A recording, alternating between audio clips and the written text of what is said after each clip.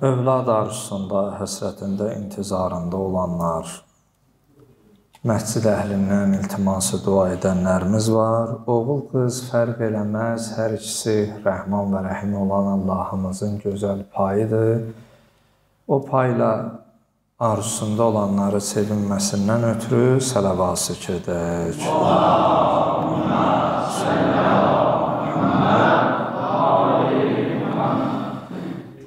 Zamanə imamı ağamız İmam Zaman əleyhissalamın zuhurunun təcilinə bizlərin xəta, nöqsan, günahlarımızın bağışlanıb o həzrətin zuhurunda dəyərli, layiqli iştirakçı olmamızdan ötürü sələvat edək. Allahumma salli ala أعوذ بالله من الشيطان اللعين الرجيم. بسم الله الرحمن الرحيم. وبه نستعين. رب اشرح لي صدري ويسر لي أمري. واحلل عقدة من لساني يفقه قولي. قال الحكيم في محكم كتابه الكريم أعوذ بالله من الشيطان اللعين الرجيم. إن الذين آمنوا وعملوا الصالحات سيجعل لهم الرحمن ودا Sadaqallahul aliyyul azim. Peyğəmbər alıb peyğəmbərə səlavat gedər.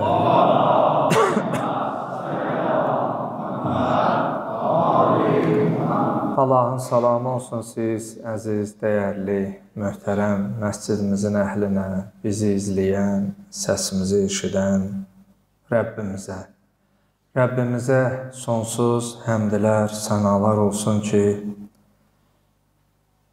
Günahkar olmağımızla yanaşı, günahkar olmağımıza rəğmən hələ də ona ibadət etməyə, əl açaraq dua etməyi bizə nəsib edir. İnanın, bizlər bunun şükrünü nə qədər istəsək layiqincə yerinə yetirək, bunu yerinə yetirə bilmərik.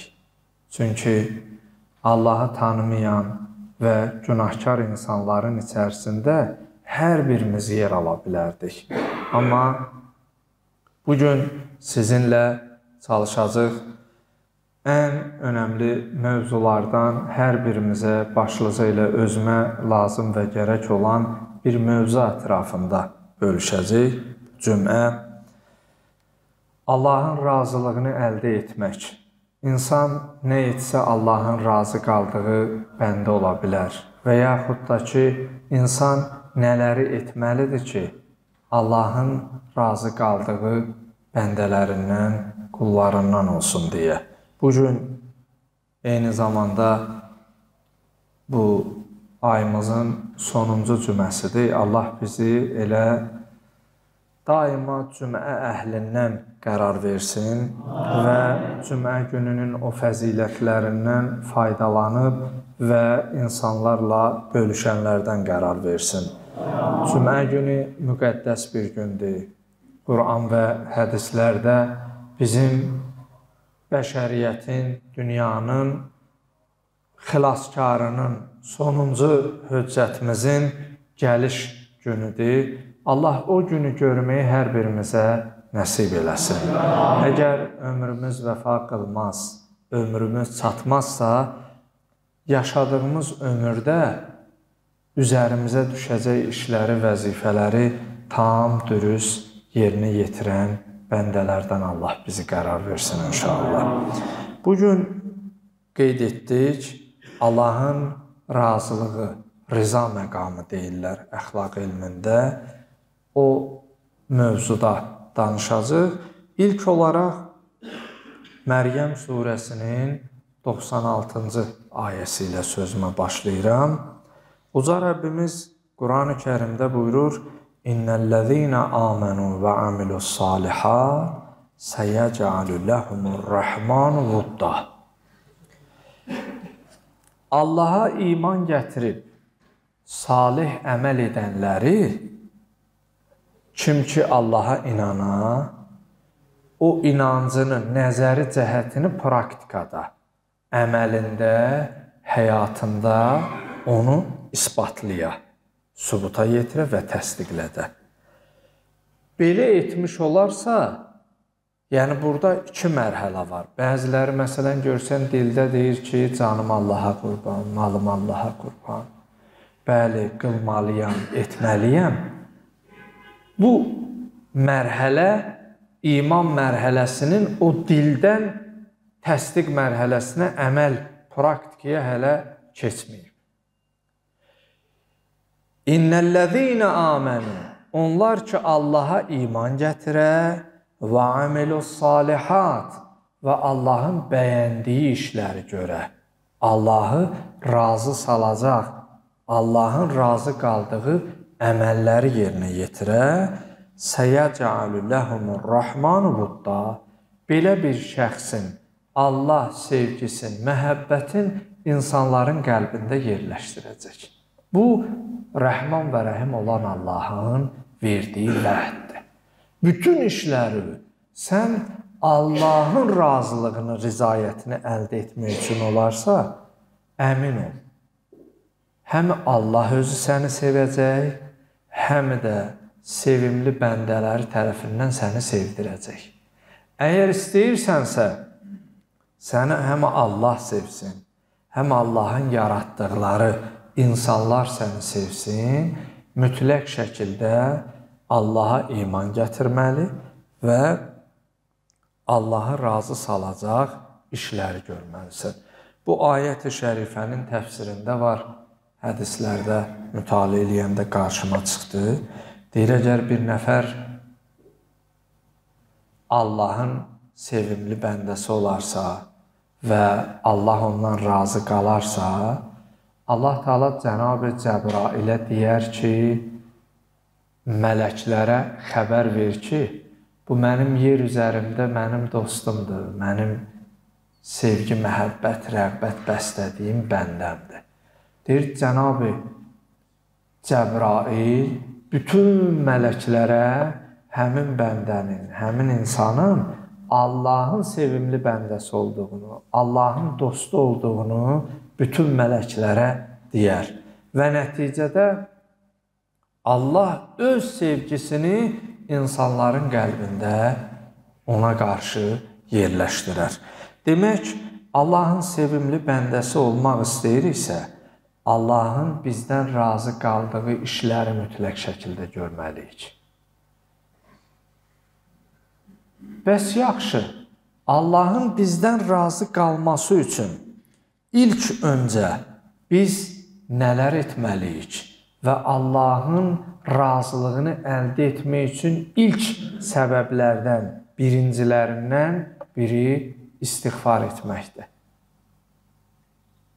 Hamımız bilirik ki, günahımız var. Hamımız bilirik ki, xətamız, nöqsanımız var. Bəzi günahları bilməyərəkdən eləmişik. Amma Allah günahlarımızı bağışlasın. Bir çox günahlarımızı biz bilərəkdən eləmişik. Yəni desəm ki, günah anında onun günah olduğunu bilmirdin, bilmirəm deyə deyə bilməzsən. Bilmisən, amma nəfsinin qurbanı olmusan. Bilmisən, amma orada səni idarə edən əqlin yox, sənin nəfsin olur. Ona görə Allahın rıza məqamına çatmaq üçün insan gərək ilk növbədə istighfar eləsin. Yəni özünü bağışladıb Allaha yaxınlaşa bilsin. Nə gözəl olar. İnsan hər gün səhər yuxudan oyananda qarşısına məqsəd qoya ki, mən bu gün Allahın razı qaldığı bəndə olacam. Və ya Allahın razı qalacağı nələr ki Allahın razılığına səbəbdir, onları edəcəm. Nələr ki Allahın qəzəbinə səbəbdir, onları etməyəcəm. Yəni Allahın razı qaldığı bəndəsi olmaq üçün ancaq nələrsə etməklə yox, bəzi şeylərdə etməməklə özüm özümə hər axşam yatarkən sual verim. Yəni o qədər indi sosial dövrdür də, telefon əlində yuxuya gedirsən. Səhər də yuxulu ayılırsan, telefonu axtarırsan, altındadır, böyründədir hara düşüb yuxulu-yuxulu axtarmağa çalışırsan. Nə edək ki, günümüzün bu acı həqiqətlərindəndir. Yatmazdan öncə bir 5 dəqiqə özünə sual ver ki, mən bu gün Allahın razılığını əldə etməm üçün, qazanmağım üçün nələr etdim və nələrisə etmədim. Edə bilərdim, amma Allah məndən razı qalsın deyə mən onu eləmədim. Eləyə bilərdim. Əsl həqiqətdə yəni insanın məharəti edə biləcəklərini edə bildiyi anda ona yox deməsi ilə baş verir. Amma daha heç nə eləyə bilmirəm, ondan tövbə eləyim, bu məharət deyil. biraz kənara çıxsaq, haşiyə çıxsaq, amma bilavasitə mövzumuzla bağlıdır deyə o eşidibsiz məşhur o biraz başqa cür səslənsə də bir nəfər gəlir Ayətullah Mişkin ağanın yanına. Çox-çox üzr istəyirəm ifadəmə görə bu musiqi alətlərindən biri bu qara zurna ifadəsi, olub. Onun üçün də təbii ki, ağızda dişin olması gərəkir. Hava, güc gərəkir. Amma yaşlanıb daha o güc ağızda da diş yox. Gəlir ağanın yanına deyir, ağa istəyirəm, əlində də onu götürüb gətirir. Deyir, istəyirəm tövbə eləyəm. A, deyir, bir hələ bir məharəti göstər görək, bir çal. Bu nə qədər eləyir? Hava lazımdır axı. Ağızda da diş yox, yaşlanıb. Görür ki, əmələ gəlmir. İndi ardı ilə işim yox. Yəni əslində ta o işdən düşəndən sonra yox. Elə onu bacardığın vaxtda məharətdə ona yox deyəsən. O səbəbdən Allahın razılığını əldə etmək üçün təbii ki, bu rıza məqamı insanlarda bəlli bir vaxtda deyil. Birində 15-də ola bilər. Nə xoş halına, nə xoş halına. Birində 20-də ola bilər, birində 30-da ola bilər, birində 40-da ola bilər. Yəni müxtəlif yaş kateqoriyaları var. Allahın razılığını əldə etmək üçün, razı qaldığı bəndə olmaq üçün konkret bəlli insan üçün yaş yox. Deməli nəticədə onu əldə etmək üçün özümüz çalışmalıyıq o istiqamətdə. Və Nəticə etibarilə mən Allahın razı qaldığı bəndə olmağım üçün başlıca sürəkli, davamlı istighfar etməliyəm. Mən xəta nöqsanlarımı xatırlayaraq Rəbbimə daha yaxın olmalıyam. Çünki o anda inanın hər şey gözəl olur. Allaha xatir bir işi etmək insanlardan nə isə ummamaqla Allahı mütləq qüdrət, qüvvət sahibi sanmaqla ruzu verən odur, güc, qüvvət sahibi, hikmət sahibi odur. O zaman sənin baxış bucağın fərqli olacaq. İnsanlara yanaşımın fərqli olacaq. Bir sözlə huzura qərq olacaqsan. Hər şeydə hikmət görəcəksən Belə dünya var, belə aləm var. Bəlkə bu izah etdiyimi qəbul etmək bir çoxları üçün çətin ola bilər. Bilirsinizmi niyə? O fəzada, o atmosferdə olmadığına görə bu sözlər onun üçün biraz alahücür gələ bilər. Amma əminliklə söyləyim ki, rıza məqamına çatan insanlarda ilahi sevgi yaranır. İlahi dostluq yaranır. Bir sözlə insan ilahi rəngə boyanır. Danışığı bərəkətli olur, baxışı bərəkətli olur, nəfəsi bərəkətli olur, ömrü bərəkət tapır. Bir sözlə adamla danışmırsan ha, yanında oturursan deyirsən içimə elə bir huzur çökdü. Bir rahatlıq gəldi. Çünki o Allahla yaşayır. Allahın o sevdiyi əməllərin icraçısı olanda Allah da səni insanlara sevdirir və o huzuru insanların qəlbinə qoyur və yerləşdirir. Ya eyyuhellezina amenu ittaqullaha vel tanzur nefsun ma qaddamat liqad Vattaqullaha innallaha xabirun bima ta'malun. Həşr surəsinin 18-ci ayəsində uca Rəbbimiz buyurur ki: Ya peyğəmbər, söylə ey Allaha iman edib və təqvalı olanlar, val tanzur nəfsun ma qaddamat liqad. İnsan sabahsı günü üçün nə etdiyinin fərqinə varsın. Diqqət etsin ki, mən bu gün sabahım üçün nə tədarük götürürəm? Bu gün sabahım üçün nə edirəm? Vattaqullah, innallaha xabirun bima ta'malun. Bilin və agah olun ki, Allah sizin bütün etdiklərinizdən xəbərdardır. Allah rənginə boyananlar üçün fərq eləmir cəmaat içinə onun tək halı. Amma bir çox insanlarda fərq eləyir.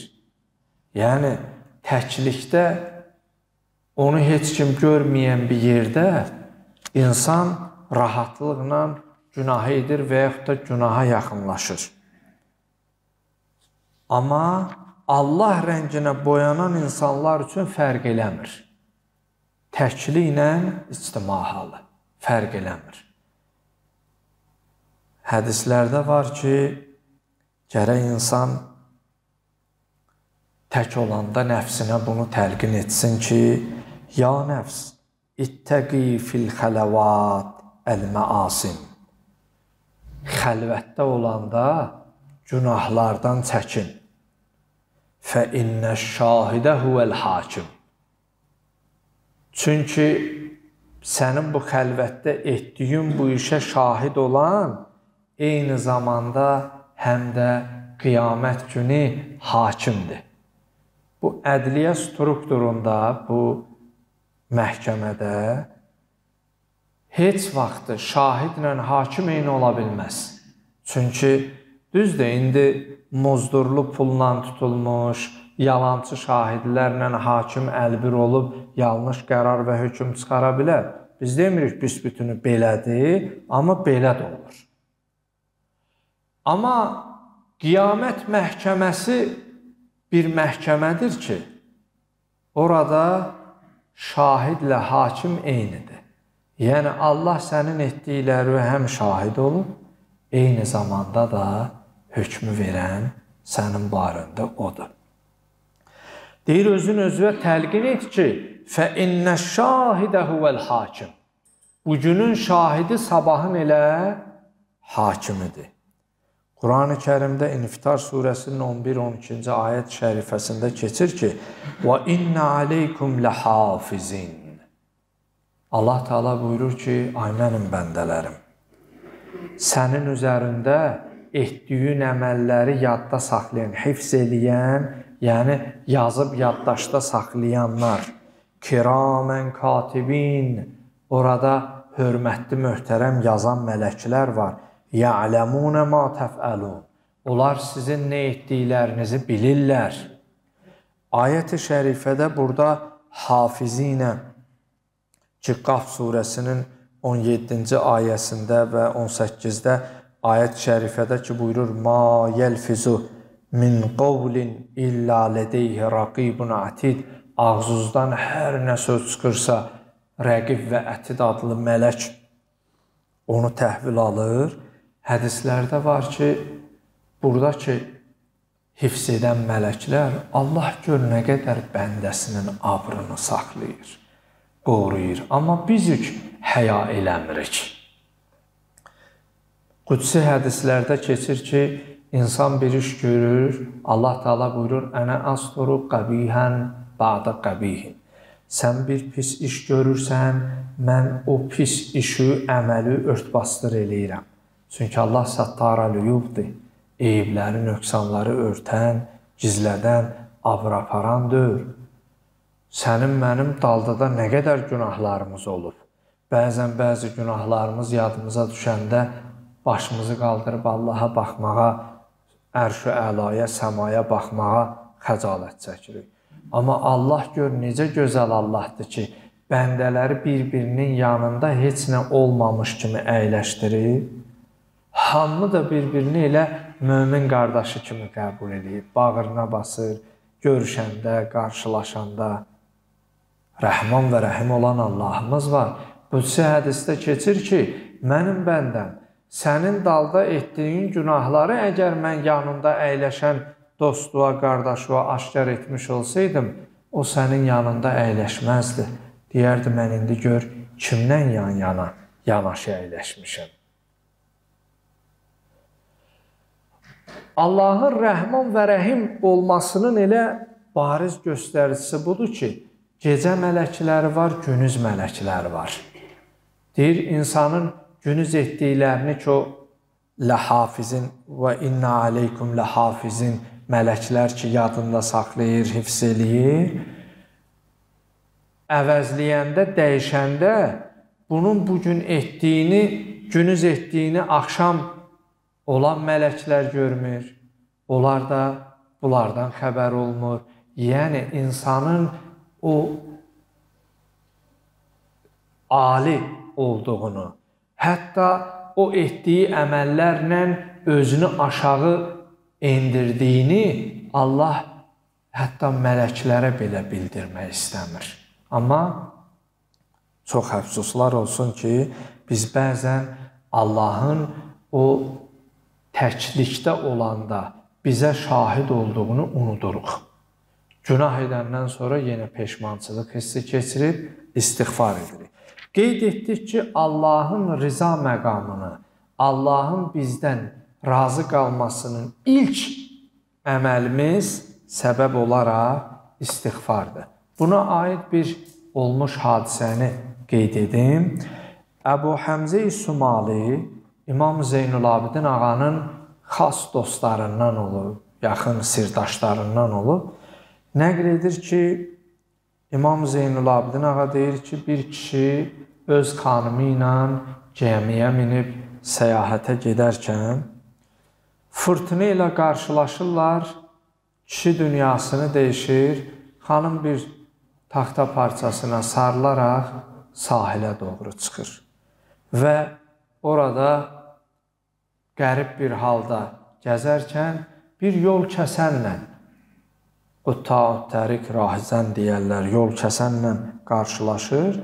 Bu xanımın əlində nəyi vardısa bu qarət eləyir və sonra baxır ki, soruşur, deyirsən insanlardansan yoxsa cinlərdən? Yəni bu e, xanımın ora tək düşməsindən deyir mən insanlardanam.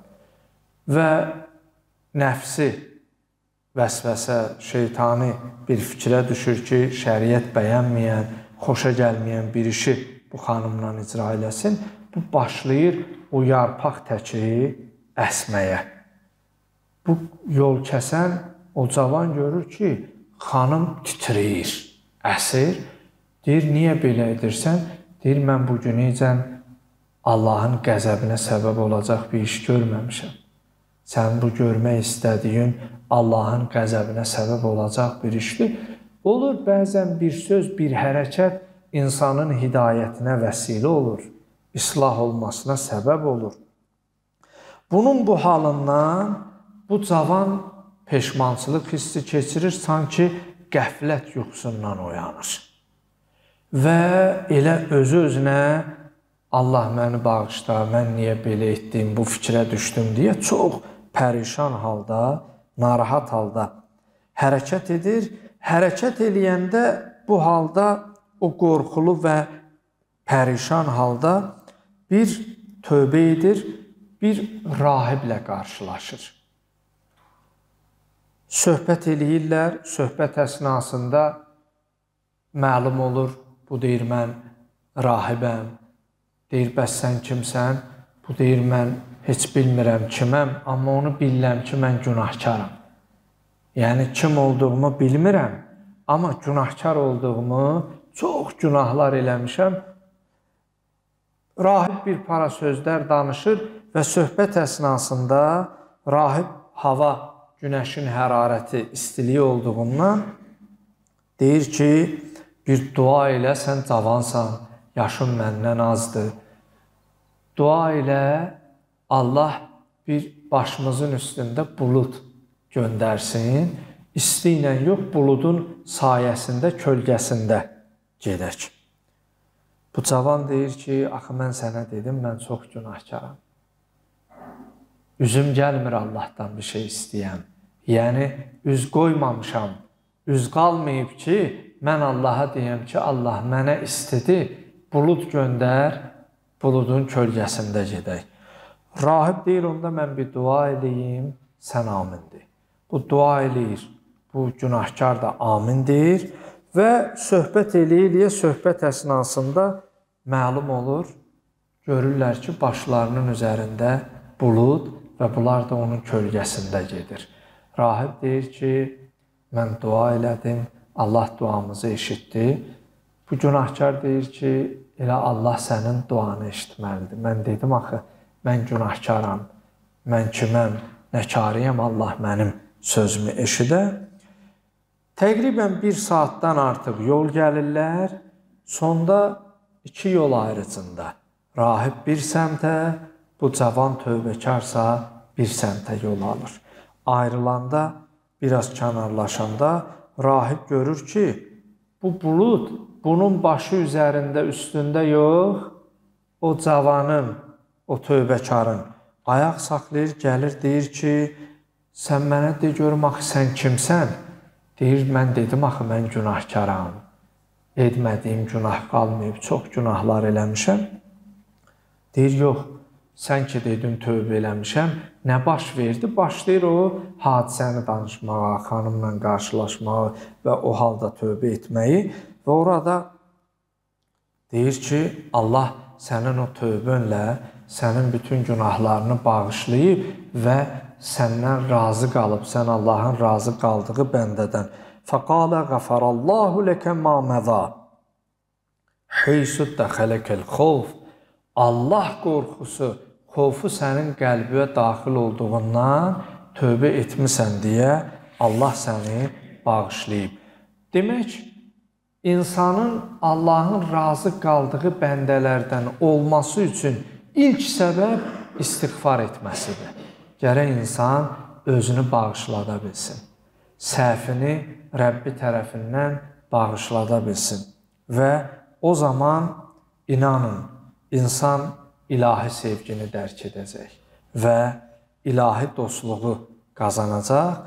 Çünki o anda elə bir andır ki, qudsi hədisdə keçir ki, fə innə beynən nas ibadun iza əradu əradəllah İnsanlar arasında elə bəndələr var ki, onlar nəyi iradə etsələr, Allah da onu iradə edər. Demir ha, Allah nəyi iradə etsə, onlar da onu iradə edər.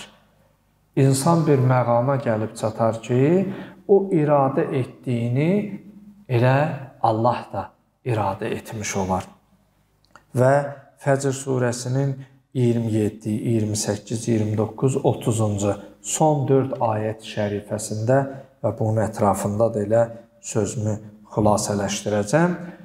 Buyurur ki, "Ya eyyatuhan nefsul mutmainnatu" Ey xətircəm olan, aram olan nəfs. İnsanın üç nəfsi.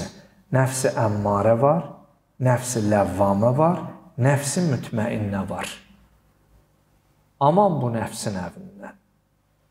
Əmmarə lə əmmarətun bisu. İnsanı ancaq pisliyə dəvət edir. Görürsən, evdə oğul atası ilə, xanım kişi ilə, kişi xanımla, qonşu qonşusu ilə, dost dostla bir-birinə yaman deyir, bir-birinə xoşa gəlməz sözlər deyir. Bunların hamısının başında insan nəfsi dayanır. Amma bu qədər ki, dünyada baş verən hadisələr var, ha, insan nəfsinin qurbanıdır.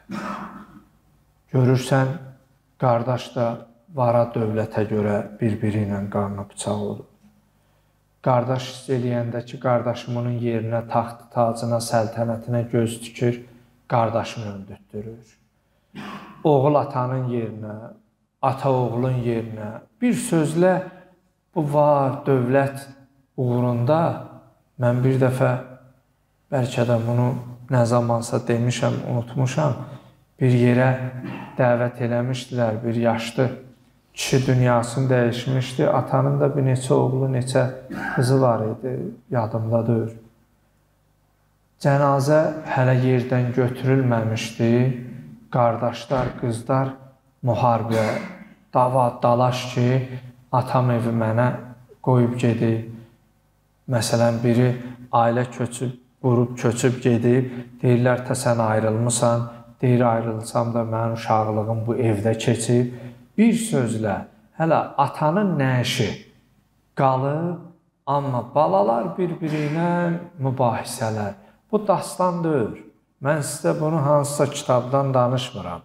39 yaşımda qarşılaşdığım və gördüyüm hadisəni danışıram. Aman bu nəfsin əlindən. Aman bu nəfsin əlindən. Ata bəzən görürsən 7 oğula 10 övlada sahib çıxır, amma bir ay, iki ay yatağa düşəndə balalar bir-birinə iyəşir. O ona deyir, sənin də atondur, bu deyir, mənim də atam. Və sən niyə baxmırsan? O belə bir sözlə bir ata 10 balanı bir yerbəyer eləyir, amma 10 dənə bala övlad bir dənə atıya bir neçə ay sahib çıxa bilmir.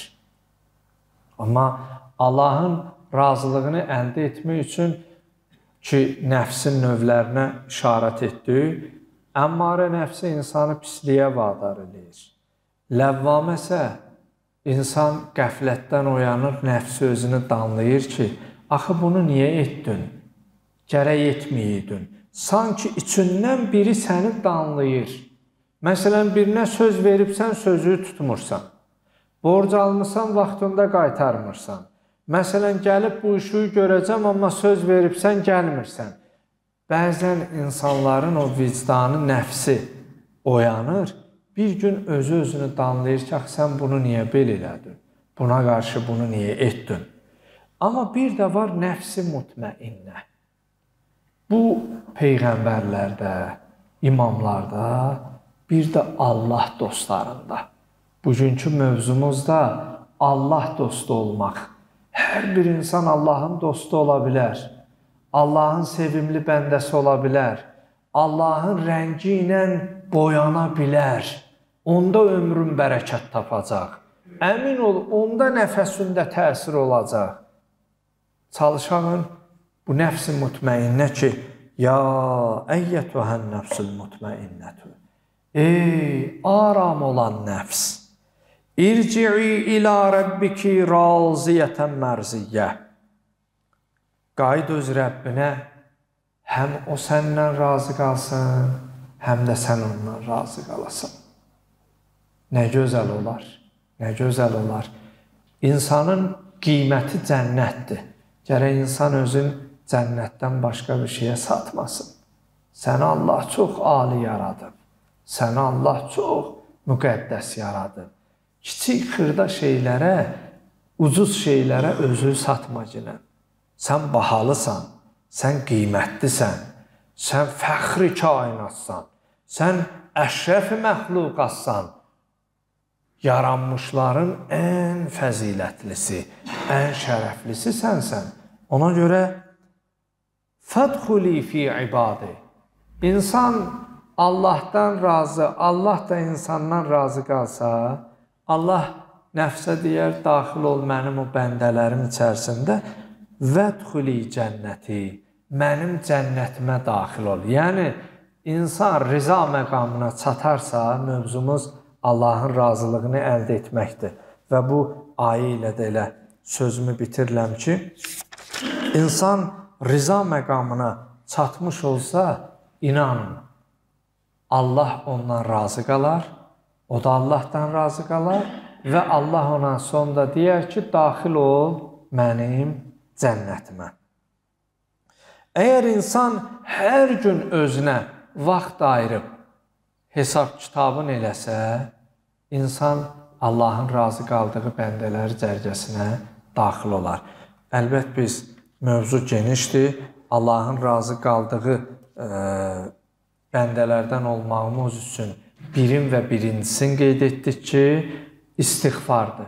Özü bağışlatmağı bacarmalısan və bunun nəticəsində sən Allahın razı qaldığı bəndə olmalısan. Bir də ki, biz Allahın bizdən razı qalmasını təkcə ibadi məsələlərdə, namazda, orucda, zəkatda, xumusda, həcdə, Məşəddə, Kərbəlada bu kimi şeylərdə yox.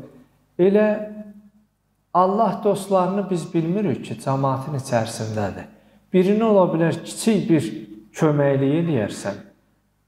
O Allahın dostu olar. Bir dua eləyər, ömrün bərəkət tapar, ailən bərəkət tapar, övladın bərəkət tapar. Yəni bizim qəbul olunmuş duamız kimin ağzındadır biz onu bilmirik. Ona görə gərək insanlarla son dərəcə məvəddətlə, məhəbbətlə davranasan. Heç vaxtı nə gücüvə, nə vəzifəyə, nə sərvətə, nə yaraşıqlığa arxayın olub qarşındakı insanları aşağılamayasan. Onda sənin dəyərin olmaz, sənin qiymətin olmaz. Mən ikinci yol olaraq da vaxt qısadır deyə qeyd edirəm. Allahın razı qaldığı bəndə olmağımız üçün İmam əleyhissalam buyurur, birinci istighfar eləmək, iki mütəvazi insan olmaq, sadə insan olmaq, qarşındakına dəyər hörmət, diqqət, ehtiramla davranmaq və bir də Allah yolunda sədaqə verməklə yoxsul insanların ehtiyaclarını qarşılamaqla sən Allahın razı qaldığı bəndə ola bilərsən. Ona görə çalışağın insanlara hörmətlə yanaşaq.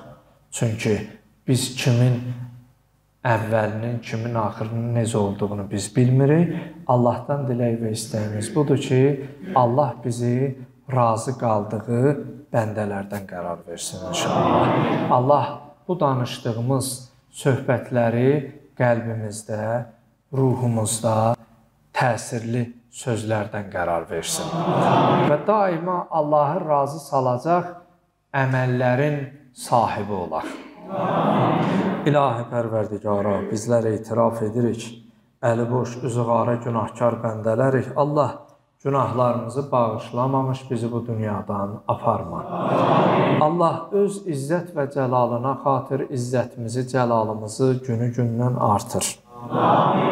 Allah qəlbimizdən kini, küdurəti, şeytanəti kənar etginən.